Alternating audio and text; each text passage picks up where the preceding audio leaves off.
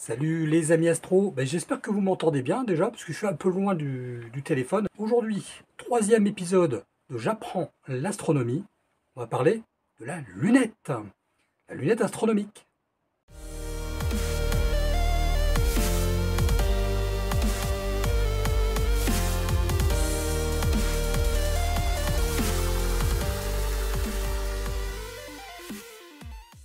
Alors c'est vrai que quand on parle d'astronomie, la première chose qu'on a euh, en tête, c'est ces belles euh, photos euh, d'étoiles, de planètes, de galaxies, nébuleuses, etc. Et puis on a aussi, quand on parle d'instruments d'observation, on a en tête cette belle lunette astronomique qui, qui trône fièrement et qui pointe vers le ciel. Ce genre d'instrument, ça fait des siècles que l'humanité utilise ce type d'instrument pour observer le ciel. Alors, euh, on va voir un peu comment ça fonctionne, déjà, et puis euh, quelques petits conseils pour bien les utiliser euh, quand vous débutez. Donc, on va essayer de savoir à quoi ça correspond, tout ce petit charabia, parce que ça a quand même une certaine importance. Alors, commençons par le début, AR80 achromatique réfractor. Ça veut dire donc AR, ce sont les initiales d'achromatique réfractor. Alors réfractor, ne vous inquiétez pas, c'est juste le nom de la lunette astronomique. Ce sont des réfractors. Les réfracteurs en français, c'est la lunette astronomique. Si on vous parle, est-ce que vous avez un réfracteur? Oui, j'ai un réfracteur. C'est une lunette astronomique. AR80, 80 c'est quoi? 80, eh bien c'est le diamètre de cette lentille, la porte d'entrée de, euh, de la lunette. Donc 80, ça veut dire 80 mm. 80 mm, donc c'est 80 mm, ça fait 8 cm. Donc il existe des lunettes de 50 mm, de 60 mm, 70, 80, 90, 100. Voilà, donc je vais pas, euh, ça fait 120, 130, 150. Alors, en ce qui concerne les lunettes astronomiques ou les réfracteurs, 150, ça semble être, euh, ça semble être le diamètre maximal qu'on puisse trouver pour les amateurs, les astronomes amateurs. Il y a une lentille. La lumière va rentrer par ici, va faire son petit chemin dans le tube, donc et va arriver ici on va rentrer un peu à l'intérieur et puis euh, je vais vous faire un petit croquis, un petit schéma. Vous allez mieux comprendre ce dont il s'agit. Voilà donc pour euh, modéliser la lunette, voici un bloc de papier. Je vais dessiner ici en entrée la lentille. Alors la lentille, elle est légèrement, alors je vais exagérer, hein. elle est légèrement bombée donc on a un côté bombé. Vous avez donc euh, la lunette, elle est dans, dans le tube. Hein. Je fais le tube. Hop. Voilà. Hop. Tube de la lentille de la lunette. Voilà, généralement, hop, ça se rétrécit ici. Vous avez le tube avec ici le porte-oculaire. Comment ça se passe? On va faire rentrer la lumière. Je vais prendre un crayon plus fin. Je vais prendre une règle, ce sera mieux. Donc, on va faire rentrer la lumière ici. Donc la lumière entre par là, traverse la lentille, je vais faire des petits pointillés, continue son chemin en ligne droite. Donc la lumière rentre par ici. Elle traverse la, lentille et elle continue son chemin. Euh, la lumière, elle ne rentre pas que au centre, elle rentre aussi partout, hein, sur toute la largeur de la lentille. Donc on va imaginer un rayon de lumière qui arrive ici, et puis un rayon de lumière qui arrive ici. Bien sûr, la lumière, elle arrive de partout. Hein. Là, je vais en faire que trois. Ce sera largement suffisant pour comprendre comment ça fonctionne. Alors, comme la surface est légèrement euh, bombée, vous avez ici une courbe, et cette courbe, on peut, à, ce point-là, on peut euh, la considérer comme quelque chose de plat. La même chose ici. Hein, chose de plat. Ici, c'est pareil. C'est plat. On peut considérer que cette surface-là, elle est plate. Donc, on va faire un angle droit. Donc, un angle à 90 degrés. Donc ici, ça va continuer tout droit. Ici, et ici, on va faire un angle à 90 degrés. Et en fait, hop, j'ai peut-être mal fait, voilà, ça va. La lumière va être déviée ici et ici.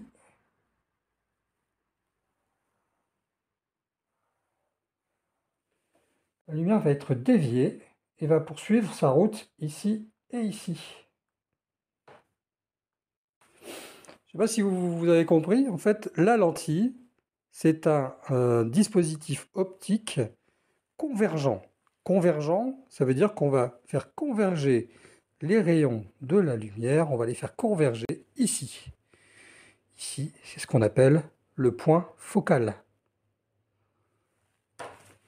Je vais écrire ça ici. C'est le point focal de la lunette. D'accord? Alors, vous aurez remarqué que si ici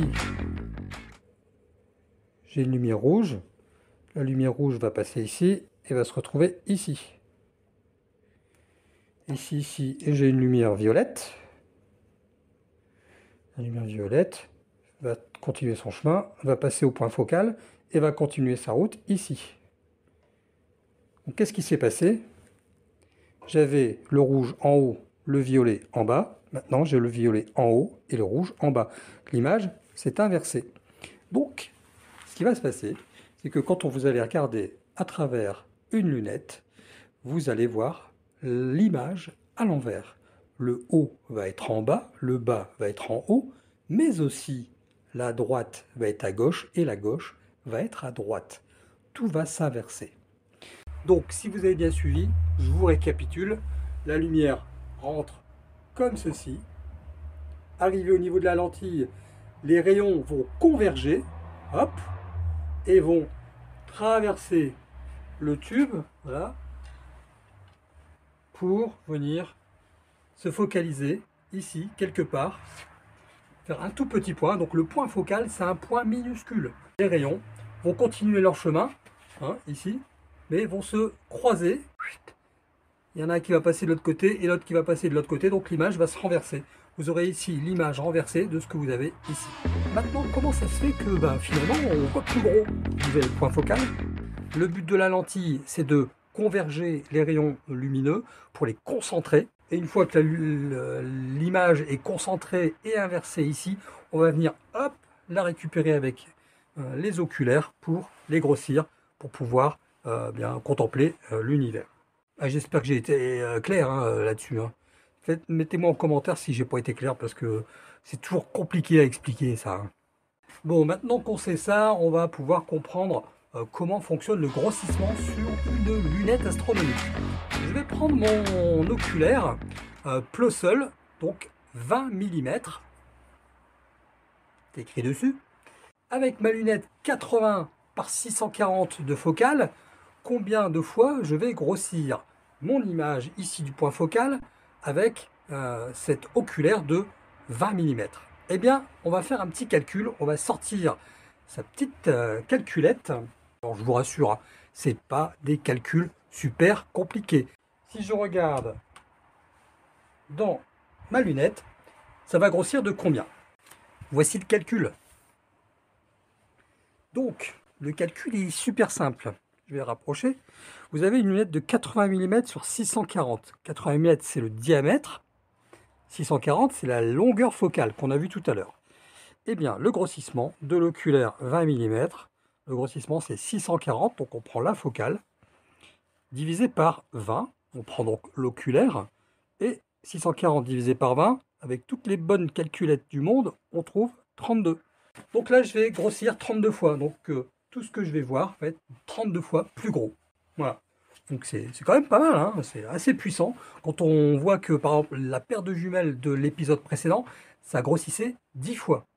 C'était donc un objectif de 50 mm, grossissement 10 fois. Ici on a un instrument 80 mm, donc euh, beaucoup plus gros, donc qui laisse rentrer beaucoup plus de lumière et qui grossit 32 fois avec un oculaire de 20 mm. Alors il existe des oculaires euh, de 20 mm, de 15 mm, de 10 mm, de 6, de 9, euh, de 3, de 4, de 5, euh, de 30, de 32, de 40, de 50 mm.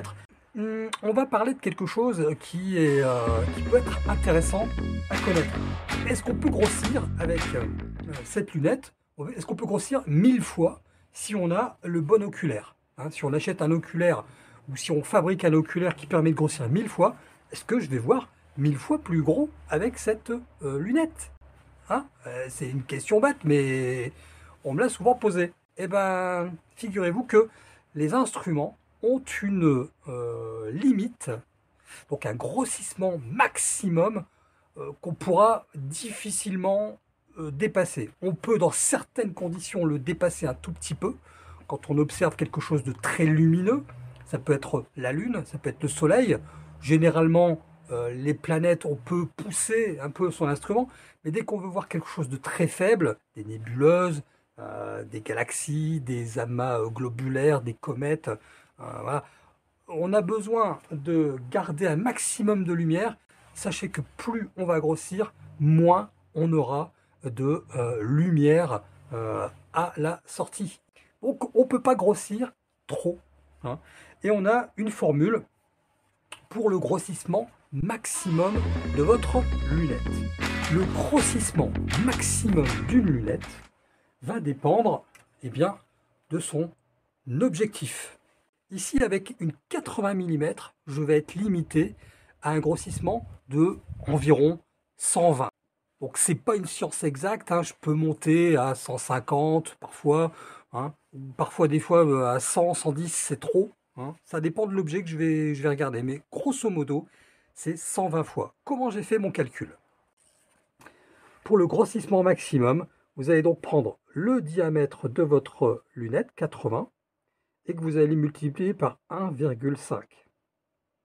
Et donc 80 fois 1,5, ça va vous donner 120. Certains disent on peut monter jusqu'à deux fois. Hein. mais bon, euh, si vous avez un instrument d'initiation, euh, il est fort possible que donc votre euh, lentille ici au niveau de l'objectif ne soit pas de très bonne qualité. Et la même chose, vos oculaires, si vous avez ce type d'oculaire en plastique, vous ne pouvez pas monter trop fort, hein, changer, vraiment d'oculaire. Hein. Alors si on a un grossissement maximum, bah, fatalement, on aura aussi un grossissement minimum. La pupille, c'est le disque noir qui est là dans votre œil. Hein.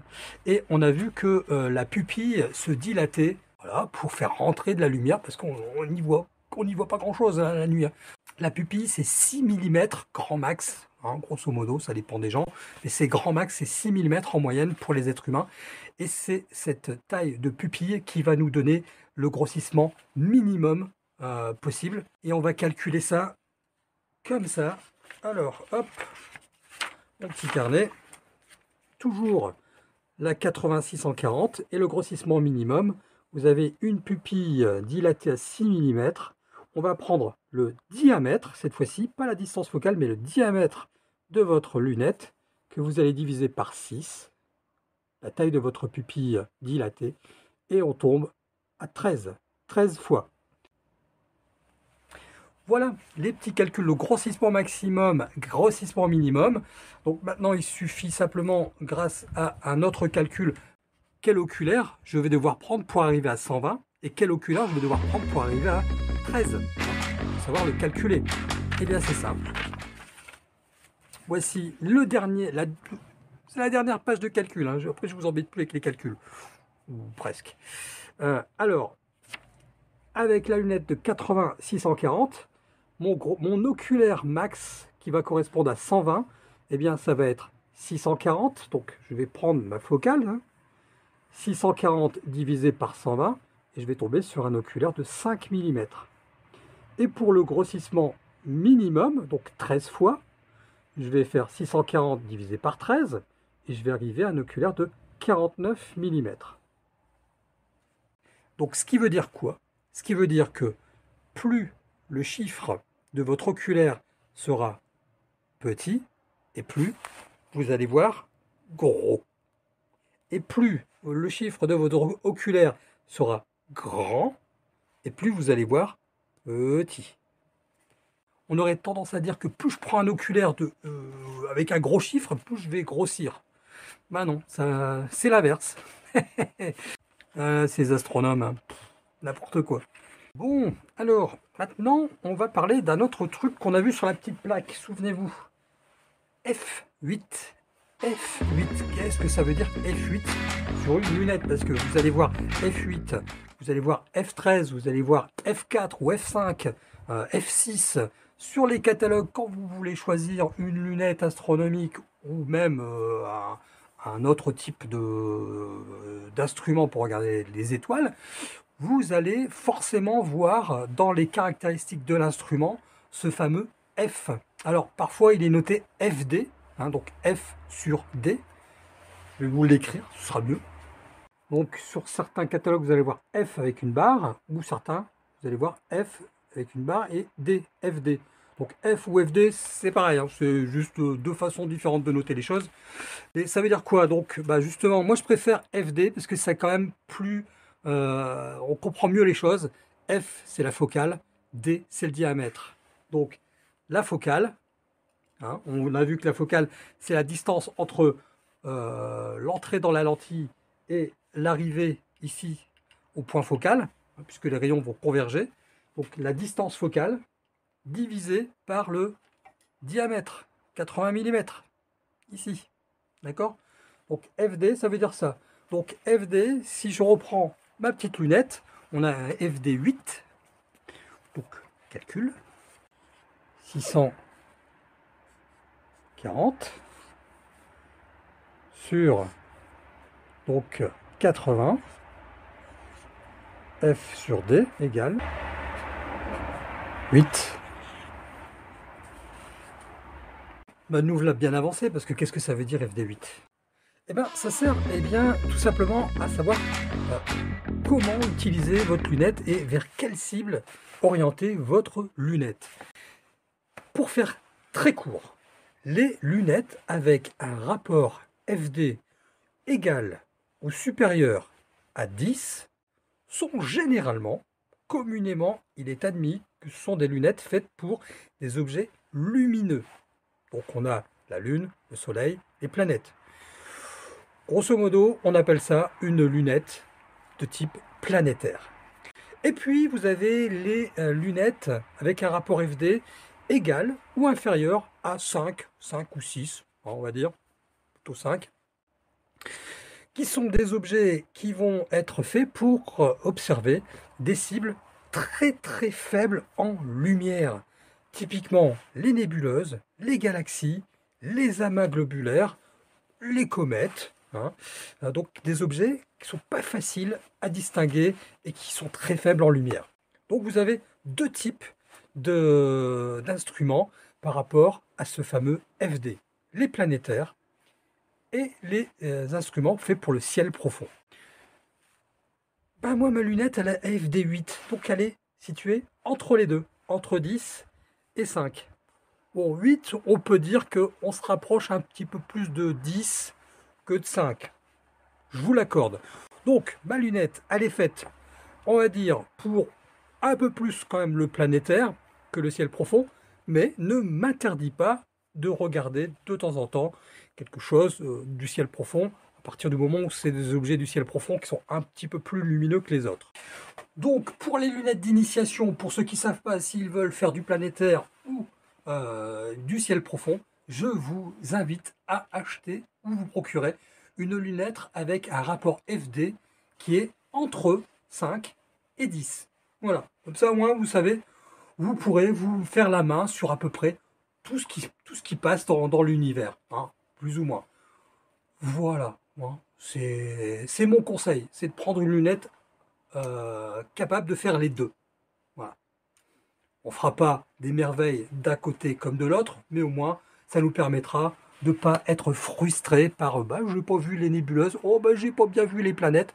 Avec ça, vous pourrez voir. Voilà, tranquille. Alors, autre chose maintenant, euh, on a sur certains catalogues des réfracteurs de type achromatique et puis des réfracteurs de type apochromatique ou semi-apochromatique. Alors, là ici, vous avez affaire à un réfracteur achromatique. Donc, achromatique, ça veut dire que vous allez euh, ici avoir un système optique au niveau de la lentille d'entrée, hein, tout se passe ici, euh, qui va euh, converger les rayons vers le point focal, mais cette convergence de rayons va créer un petit phénomène de diffraction de la lumière. Vous savez que la lumière, quand on regarde la lumière à travers un prisme ou à travers euh, des gouttelettes d'eau en suspension dans, le ciel, on peut voir les différentes couleurs du spectre de la lumière, donc typiquement l'arc-en-ciel hein, notamment. Euh, et donc ici, en traversant la petite lentille, ben, ça va faire un peu comme quand on traverse un prisme ou les gouttelettes, la lumière va légèrement, hein, je dis bien légèrement, hein, ça va pas être euh, non plus le feu d'artifice de, toutes les couleurs ici, hein, va légèrement se diffracter en plusieurs couleurs. Et donc ici, quand on va euh, regarder avec euh, l'oculaire, euh, on peut parfois être surpris de voir une petite décomposition de la couleur, une petite, un petit double qu'on appelle un double chromatique, donc de couleur généralement jaune, rouge et bleu. Hein. Donc il va y avoir une petite diffraction. Donc les achromatiques, il y a une petite diffraction de couleur qui peut parfois être gênant, surtout pour les rapports FD euh, faibles. Donc pour les objets euh, faits pour le ciel profond. Hein. Euh, quand on veut regarder du planétaire avec, puisque c'est pas fait pour, hein, c'est pas vraiment fait pour du planétaire, un rapport FD inférieur à 5, c'est plutôt fait pour le ciel profond quand on veut regarder des planètes ou euh, des choses lumineuses, on va avoir avec ce rapport FD faible, eh bien, euh, une décomposition de la couleur qui peut être gênant, hein, ce qu'on appelle euh, du chromatisme. Plus la distance focale va être grande, et donc plus le rapport FD va être haut, donc proche de 10, eh bien, euh, cette diffraction de, la lumière, hein, cet effet de chromatisme, hein, va diminuer. Donc, euh, les rapports FD de 10, 12, 13, 14 pour le planétaire, euh, bien, le chromatisme va être diminué et vous n'allez pas être gêné. Donc, ce chromatisme n'apparaît que si vous avez un FD faible, donc une lunette pour faire du ciel profond. Si vous voulez regarder du planétaire, vous allez avoir ce chromatisme. Et donc on a créé et inventé des lunettes qu'on appelle des lunettes apochromatiques ou alors lunettes ED, hein, certaines lunettes où c'est écrit ED dessus. Euh, eh bien, sont des lunettes avec ici un objectif euh, un peu plus perfectionné que les achromatiques il y a un peu plus de lentilles, il y a des, réglages, euh, des jeux euh, qui sont euh, réglés au millimètre en usine, donc ce qu'on appelle une collimation de la lentille, qui va réduire considérablement le chromatisme de, couleur, hein, de, lumière que vous allez pouvoir avoir. Et donc avec une courte focale, même si vous avez une courte focale et donc un FD qui se rapproche de 5, eh bien, ou de 4, vous allez quand même avoir une image sans ce petit effet de, de couleur rouge, jaune, bleu qui bave un peu hein, autour des, euh, objets fortement lumineux. Bon, maintenant on sait quand même pas mal de choses. Le diamètre, la distance focale, comment calculer le grossissement, grossissement max, grossissement minimum. On sait aussi si notre lunette elle est faite pour euh, le planétaire ou le ciel profond. Hein, ok Maintenant, il y a juste une petite chose qu'il faut savoir faire, c'est utiliser ça. Ça, c'est ce qu'on appelle le chercheur, chercheur fouilleur. Voilà. Donc c'est une petite, euh, petite plaque de, de, de, plastique transparent, donc on peut voir à travers, hein. on peut voir mon doigt à travers. Et sur cette plaque transparente, on va venir projeter un petit point. Ici, on a le petit projecteur. Donc c'est pas un laser, hein. attention, hein, les gens. Euh, J'entends des fois des gens qui disent euh, j'ai un laser point rouge. Non, c'est pas un laser, c'est une petite diode, hein, comme pour celle des sapins de Noël, hein, qui brille. Quand on l'enclenche, on a ici un point rouge. Ce point rouge, euh, donc, euh, il suffit simplement de regarder. On peut garder les deux yeux ouverts. Un qui regarde le petit plexi et puis l'autre qui regarde le fin fond des étoiles. Donc on peut s'orienter très facilement pour pointer euh, un astre, on n'est pas obligé de, garder l'œil euh, derrière un petit, euh, une petite lunette où on voit rien. Alors, ce qu'il faut, c'est bien sûr aligner ce point avec eh bien l'axe, hein, l'axe de, de, visée de la lunette. Donc, ce qu'il faut faire, c'est pointer. On peut faire ça deux jours. Donc là, on est la nuit, mais bon, si on est, euh, si l'a pas fait euh, et qu'on a un petit lampadaire ou une petite, une petite fermette au loin, si on est dans la campagne avec, une petite lumière allumée, on peut essayer de, donc, de, viser. Donc on essaie de, de, viser comme ça pour essayer de, de trouver. Hop, je vais mettre ça là comme il faut. De trouver tranquillement, hop, le petit lampadaire. Ou alors si vous faites ça en journée, vous pouvez choisir un clocher d'église, euh, un haut de poteau électrique, euh, n'importe quoi. À partir du moment que c'est assez loin, environ euh, plus d'un kilomètre, hein, minimum 500 mètres, mais vraiment minimum. Si vous avez rien de plus loin, 500 mètres, c'est le minimum. Mais un kilomètre, deux kilomètres, voire plus loin encore, vous essayez de, de choper le truc mûche, hop, alors ça peut être long, hein, parce qu'on euh, ne peut pas se fier à ça, c'est pas réglé. Donc on essaye de, trouver le truc. Une fois qu'on a l'objet qu'on veut dans l'oculaire, n'oubliez pas de faire les mises au point, hein. je vous expliquerai ça tout à l'heure. Voilà, hop, on bloque tout, tac tac, on bloque la monture. Et puis vous avez, hop, le point rouge qui est allumé, et vous avez des vis de réglage. Vous avez un réglage ici. Alors ça dépend des modèles. Hein. Euh, il y a des modèles, les boutons, les vis de réglage elles sont euh, ailleurs. Donc vous avez ici un réglage pour en fait orienter plus par là ou plus par là. Et puis ici, c'est pour monter ou descendre. Donc vous faites correspondre le point rouge sur la cible que vous avez dans l'oculaire. Une fois que c'est fait, vous ne touchez plus rien c'est que si vous avez fait le réglage dans la journée, c'est que bien euh, de prendre quelques petites minutes en début de nuit pour euh, pointer euh, une étoile très très brillante, puis de refaire le, réglage, hein, parce que ça peut se dérégler, voilà, tout simplement. Alors oui, maintenant, on a certaines, j'ai certains débutants qui me disent ben, euh, je mets mon oculaire, euh, j'ai retiré le capot, hein. bon, il faut toujours retirer le capot. J'ai mis mon oculaire, euh, j'ai pointé, quand je regarde, je vois rien. Pourquoi? Alors, deux choses.